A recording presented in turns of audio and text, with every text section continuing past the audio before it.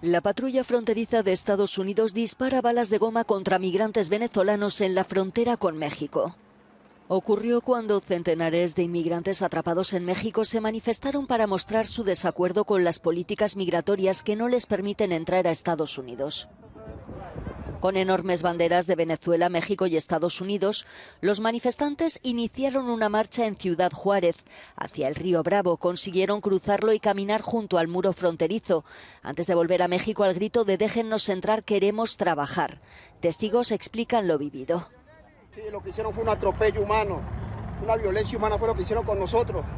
Entonces hoy venimos pacíficamente, ellos responden con armas sellaron a, varios compañeros apresados y que estamos haciendo nada malo. Nos han atacado, nos han agredido y ya pues uno como en defensa se queda parado gritando y ya nos disparan ya. Cuando nos tenían hincados allá, eh, agachados, nos dijeron que, que nos iban a trasladar en cada vehículo de 15 en 15. Allí nosotros nos asustamos y nos dirigimos hacia atrás.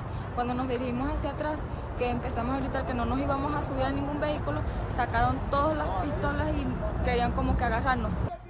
Desde el 12 de octubre, cientos de venezolanos se encuentran varados en las fronteras mexicanas sur y norte. Estados Unidos deporta de inmediato a quienes intentan cruzar de manera irregular por la frontera terrestre. Solo admite procesos de asilo para los migrantes venezolanos que lleguen por vía aérea y bajo ciertas condiciones. México ha recibido a unos 1.800 venezolanos deportados desde Estados Unidos desde que entró en vigor la nueva política migratoria.